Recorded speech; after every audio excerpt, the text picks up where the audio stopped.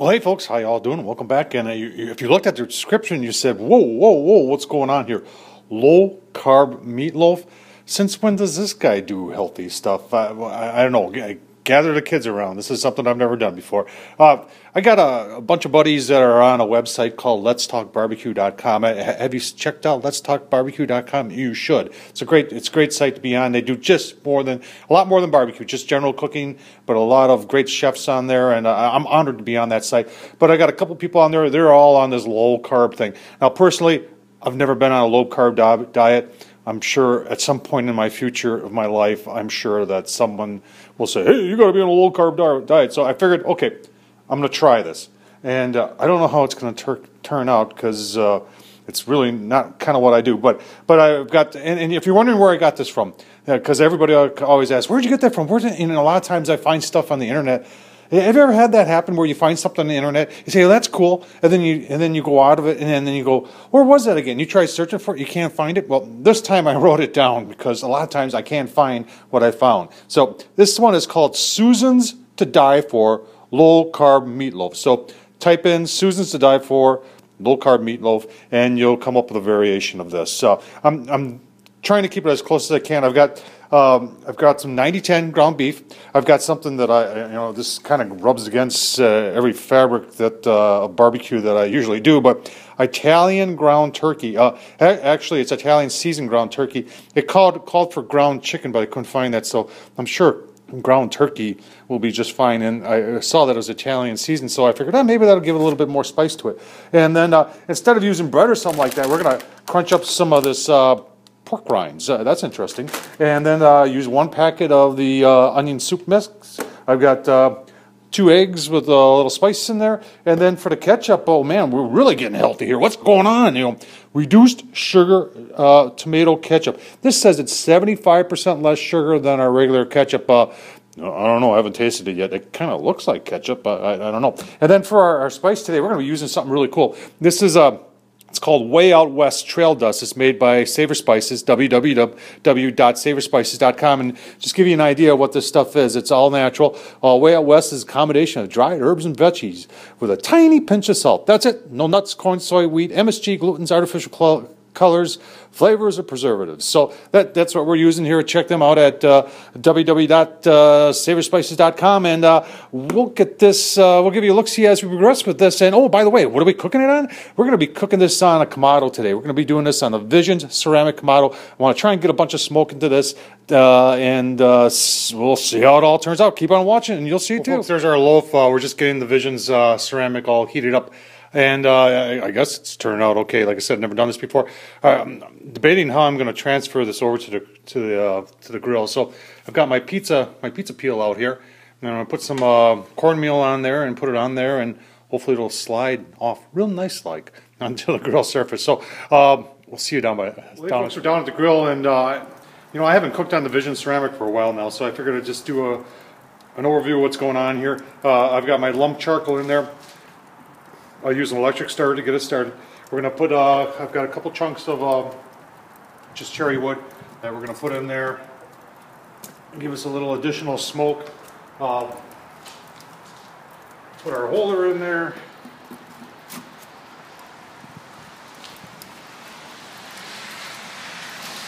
And then we're gonna put our diffuser plate because we wanna do this indirect.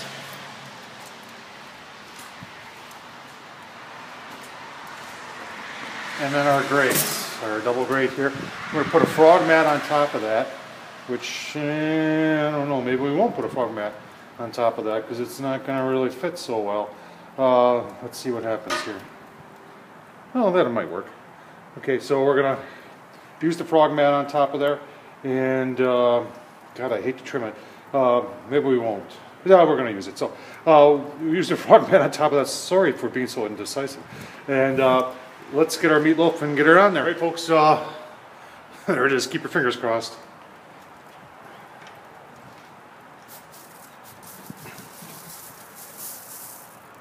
Okay, sometimes things do go right. So uh, there it is. We got a nice smoke rolling. Uh, get this closed down. Gonna close our vents up a little bit here, and um, obviously when I, there's turkey in there, So we want to make sure that we take this up to 165 internal. And we'll give you a look, see as we progress. We're back, and uh, you can see uh, we're down at the vision. It's been about an hour and a half now. Things are smoking our way pretty nice, as you can see. Uh, our temperatures are in right leveled off right around 300 degrees, and we're going to take our um, we're going to take our ThermoPop here, and uh, you can see our exterior temperature is 49 degrees. So we're going to take our ThermoPop here and check the temp temperature real quick, if I can say that. And um, oh man, look at that, looking pretty nice. So.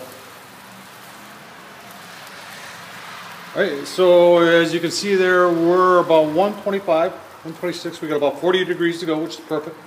Um, we're going to put a little bit of that uh,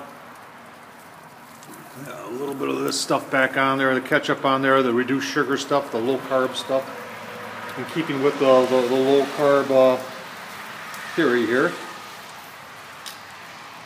And we're just going to drizzle that on there.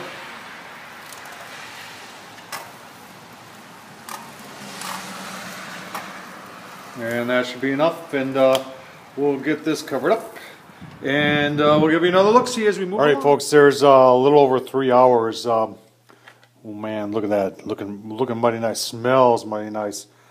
Just cut a little bit more of this off here. Uh, if you want, you know, if you're looking for me to tell you something, what I liked, what I didn't like, for, the, for the most part, I, I, think everything turned out good. The, the only thing I didn't, you know what, I have a whole new appreciation for ketchup because... Uh, that stuff that's uh, the low carb stuff with 75% less uh, sugar in it, I'm telling you what, um, it's it's, uh, disgusting in my opinion.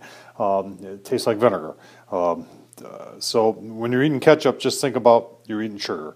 So we're gonna. I got one more step. So keep on watching. You're gonna. Oh, what do we? Come on. I thought this was done. No, no, no, no, no one more thing and keep on watching and we'll show you. Well, hey folks, uh, oh man, you want to see what we're doing different here. Uh, this is not the low carb part, but uh, take a look take a look at this uh, meatloaf. Look at the smoke ring, very nice. So let's let's turn that over. You got one of them turned over already. Oh man, look at that. And let's get our, our Texas toast. That's what we got going on here. Texas toast on the Blackstone griddle. Oh man. Gonna be delicious. Obviously, this is not the low carb part. That's the low carb part, but that's not. So uh, we'll uh, give you a look, see once they're plated up. Thanks for watching. Oh man, there's a sam. Oh, those look really good. Uh, really not low carb anymore. The meat is, but the bread isn't. And you know what? I'm gonna put some ketchup on there. And guess what? I ain't gonna use that low carb stuff because I did not like it. So put that on there folks, I tell you what, if you're into low carb, the, the meatloaf itself was great, uh, fantastic. I, you know, I was a little leery with the turkey in there and that, you know, everything else. It was just, eh, you know, but you know what? Turned out really good. If you're on a low carb diet, uh, check it out. Uh, I think it turned out very good. Uh, and as always, folks, you know, thanks for watching. Uh, Tom Horsman at YouTube letstalkbarbecue.com. And as always, I can't say it enough. Thanks for watching.